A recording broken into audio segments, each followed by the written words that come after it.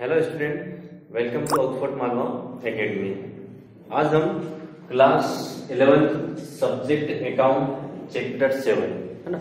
Chapter seven में ledger के practical करेंगे। आ, लेजर जर्नल से लेजर में किस प्रकार से पोस्टिंग की जाती है वो हम देखेंगे। पहले जर्नल बनाया जाता है और जर्नल से लेजर बनाया जाता है। है ना? लेजर में जो अकाउंट ओपन होते हैं अकाउंट में टू एक्सेप्ट होते हैं, है ना? एक डेबिट एक्सेप्ट होता है और एक क्रेडिट एक्सेप्ट होता है, ठीक है? पहले मैं आपको बताऊँ, इसके अंदर कौन कौन से कॉलम होते हैं? एक तो डी आर कॉलम होता है डेबिट पक्ष में particular journal folio amount D R है ना? ये अमाउंट डी आर वाला, और ये जो पोर्शन है, यहाँ से डेट वाला जो चालू हो रहा है, वो क्रेडिट साइड का है, ठीक है? ये डेट पार्टिकुलर जनरल फोलियो और अमाउंट ठीक है? इस प्रकार से इसमें टू एक्सेप्ट होते हैं, है ना? और जब लेजर आप बनाते हैं जर्नल से लेजर में किस प्रकार से पोस्टिंग की जाती है? जर्नल से लेजर में जब आप पोस्टिंग करेंगे तो एक चीज़ का ध्यान रखना, जिस अकाउंट को हम ओपन कर रहे हैं, वो यदि जर्नल में डेबिट है तो लेजर में उसके डेबिट एक्सेप्ट में ही एंट्री होगी, लेकिन लिखा जाएगा उसके अपोजिट अकाउंट का नाम। ठीक है? जिस अकाउंट को हम ओपन कर रहे हैं, कभी भी उसमें उसका नाम नहीं आएगा, ठीक है? उसके अपोजिट खाते का नाम लिखा जाएगा, उसके अपोजिट अकाउंट का नाम लिखा जाएगा। तो इसमें आप हमेशा ध्यान रखना कि यदि जर्नल में जो अकाउंट डेबिट है तो लेजर में उसके डेबिट एक्सेप्ट में ही एंट्री होगी, लेकिन लिखा जाएगा उसके अपोजिट खाते का नाम, ठीक है? चलिए, सबसे पहले अपन इसकी जनरल एंट्री करते हैं। और जनरल एंट्री में वैसे भी आपने जनरल एंट्री आपने आप कर चुके हैं तो उस हिसाब से आपको जनरल एंट्री आती है। तो क्वेश्चन नंबर ये क्वेश्चन नंबर थर्ड है, ठीक है? क्वेश्चन नंबर थर्ड वाला है ठीक है? क्वेश्चन नंबर थर्ड देखते हैं। इसके अंदर तो जो 2017 की जो जनरल मार्च फ़र्स्ट में started business with cash started business with cash business start किया कैश से तो क्या एंट्री हो जाएगी? कैश अकाउंट दिया टू कैपिटल अकाउंट क्योंकि बिज़नेस के अंदर कैश आ रहा है, और किससे आ रहा है? कैपिटल से आ रहा है तो कैश अकाउंट दिया टू कैपिटल अकाउंट ठीक है? और अमाउंट दिया में फोर लेख अमाउंट सीआर में फोर लेख नेक्स्ट ट्रांजेक्शन है मार्च फाइव का गुड्स फ्रॉम राज और ये ट्रांजेक्शन क्रेडिट ट्रांजेक्शन है, क्योंकि इसके अंदर व्यक्ति का नाम दिया है और कोई भी इन्फॉर्मेशन कैश और क्रेडिट के लिए नहीं है तो इसको हम क्रेडिट ट्रांजेक्शन मानेंगे, ठीक है? तो किससे माल परचेस किया? राज से परचेस अकाउंट दिया टू राज। ठीक है? माल देने वाला कौन हो गया? राज हो गया, है ना?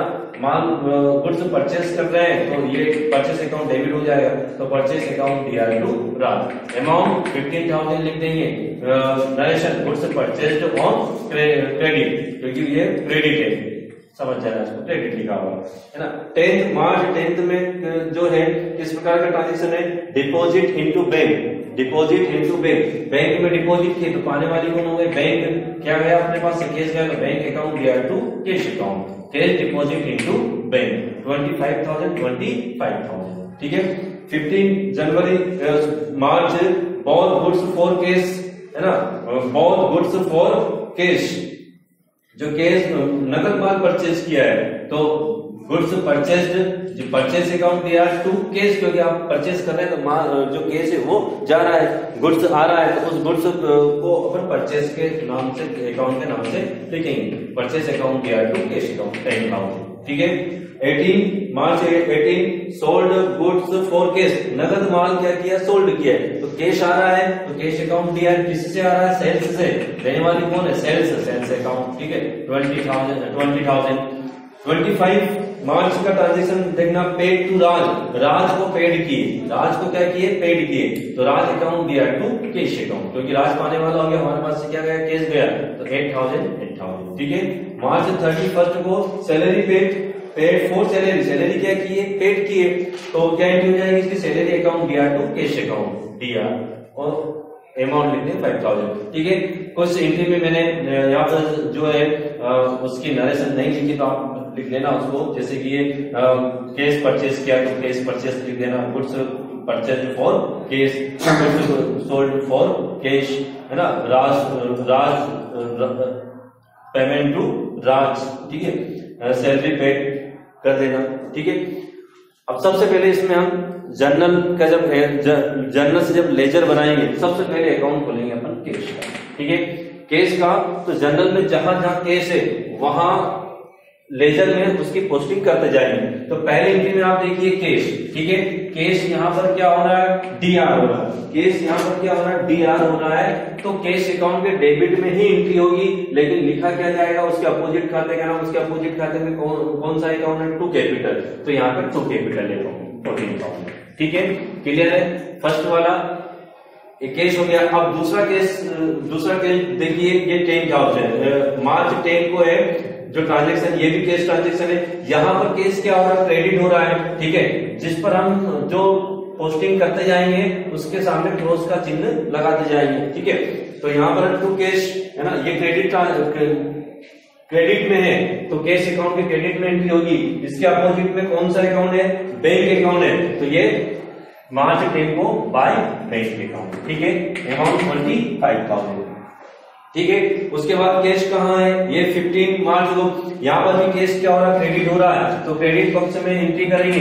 इसके अपोजिट में कौन सा अकाउंट है? परचेस अकाउंट है। तो बाय परचेस अकाउंट है ना?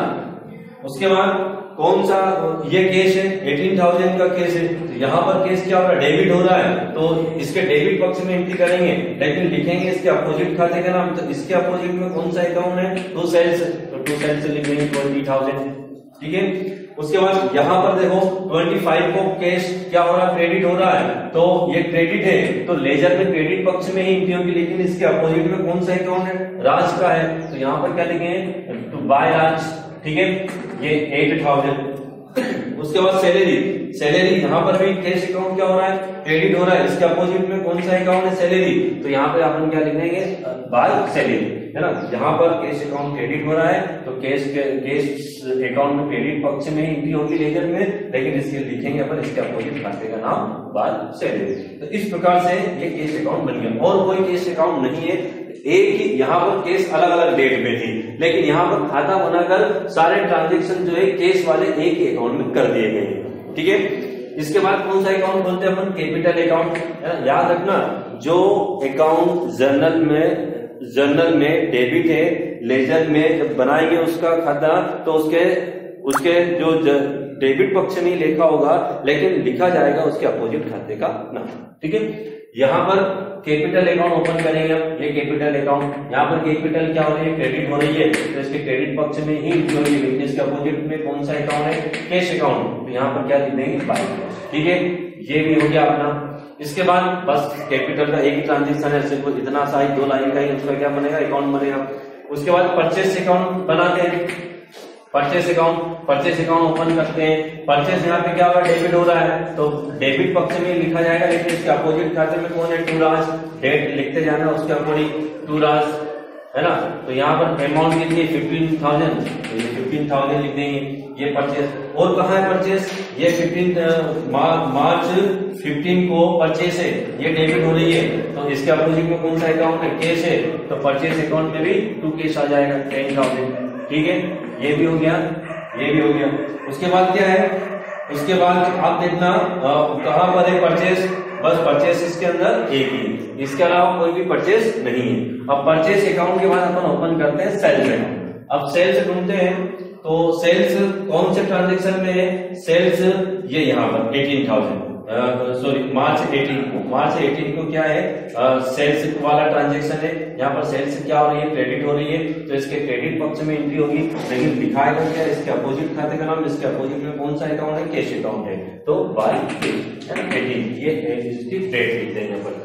फिर इसके बाद बैंक अकाउंट छूट गया है अपना तो बैंक अकाउंट ओपन कर देंगे अपन, है ना?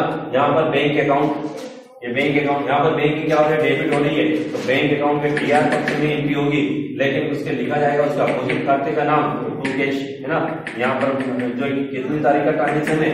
मार्च टेन का डेट लिख देंगे मार्च टेन, है ना? और कोई बैंक का बैंक के ट्रांजेक्शन है? नहीं, एक ही ट्रांजेक्शन है तो बस एक ही, जो एक ही ट्रांजेक्शन की पोस्टिंग होगी, है ना? नेक्स्ट पॉइंट क्या है इसके अंदर? इसके अंदर नेक्स्ट अकाउंट है राज का, ठीक है? राज ये राज राज यहाँ पर क्या हो रहा है? डीआर हो रहा है। तो इसके डीआर पक्ष में ही एंट्री होगी। लेकिन सॉरी एक राज यहाँ पर है मार्च फाइव को। यहाँ पर राज सीआर हो रहा है। तो इसके सीआर पक्ष में एंट्री होगी। लेकिन लिखा जाएगा इसके अपोजिट खाते का नाम। इसके अपोजिट में कौन सा है? परचेज तो ये बाय परचेज ठीक है?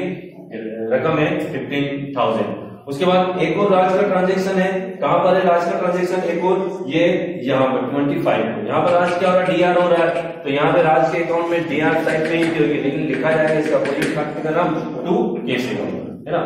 उसके बाद कौन सा अकाउंट है? एक और बचा हुआ सैलरी अकाउंट यहाँ पर सैलरी क्या है? सैलरी डीआर है। सैलरी डीआर है। तो डीआर पक्ष में एंट्री होगी, लेकिन लिखा जाएगा इसका अपोजिट खाते का नाम। ठीक है? तो इस प्रकार से ये पोस्टिंग आपको करनी इसके अंदर बैलेंस निकालने के लिए नहीं बोला बैलेंस नहीं निकालना सिर्फ़ अभी पोस्टिंग करनी है। ठीक है? Okay thank you